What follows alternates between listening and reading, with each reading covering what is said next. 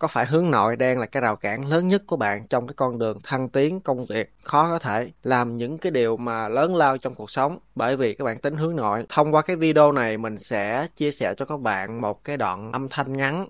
Mình cắt ra từ cái lớp Blender của mình. Thì cái đoạn âm thanh mà mình nói chuyện với học viên này sẽ chia sẻ cho các bạn biết được là cách mà mình đã vượt qua cái sự hướng nội để vươn ra bên ngoài chính bản thân của mình để trở thành một người hướng ngoại bậc tham như thế nào. Đây là một cái cuộc tâm sự giữa mình và các học viên trong lớp Blender và những cuối buổi của học. Và đây cũng là một cái văn hóa của lớp Blender cũng khá hay. Khi mà mình tạo ra cái văn hóa này, mình sẽ kết nối được giữa mình và các học viên lại với nhau để cùng nhau cố gắng phấn đấu và hiểu nhau hơn trong cái lớp Blender. Và bây giờ thì mời các bạn xem video nha. Đối với em, em cảm thấy chắc là cái rào cản duy nhất của cái freelance với mình là cái sự hướng nội. Ừm, ok, hướng nội đúng không? Rồi thì chia sẻ với các bạn luôn nếu các bạn còn ở đây đúng không? À, còn mấy ai ở đây? Rồi các bạn cái việc hướng nội như vậy nè.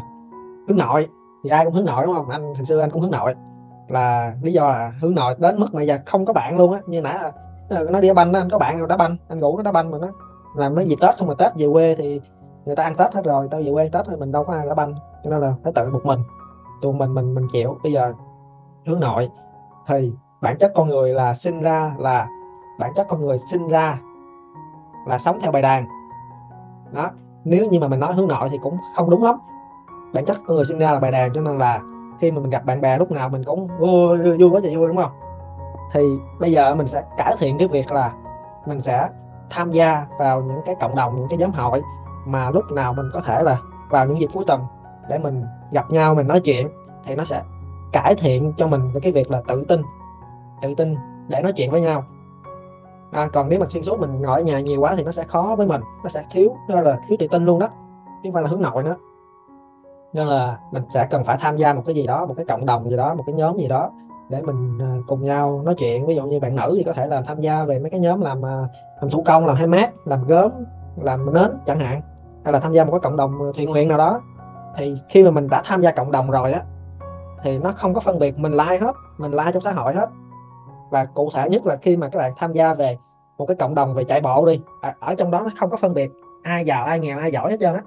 Tại vì nó chỉ phân biệt là một cái là mình có chịu tham gia cộng đồng với nhau hay không, mình có phải là một người. Nói chung là không ai phân biệt là do là khi mình đã vào một cái bộ môn thể thao rồi đó, là ai cũng như ai. Ai cũng như ai đó có một cơ thể đó, có tay, có chân, có cái sức khỏe vô lại để tham gia thôi, nó phân biệt. Lúc đó mình sẽ cải thiện được cái sự tự tin và mình nói chuyện được với nhiều người, lúc đó mình sẽ cần rèn luyện rèn luyện liên tục là mình sẽ có được nhiều mối quan hệ nè, ví dụ vậy đó cho nên cơ bản con người mình là không phải là sống uh, cô độc.